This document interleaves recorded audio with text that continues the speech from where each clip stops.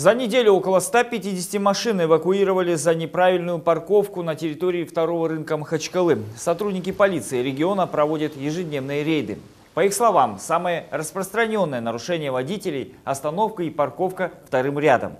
Это препятствует проезжей части дороги и создает транспортный коллапс в оживленной части города. Нарушителей штрафуют, а их машины эвакуируют на специальную штрафстоянку. Вы для чего остановились во втором ряду? Не, я не остановился. А что вы тут делали? Я на аварийках стою.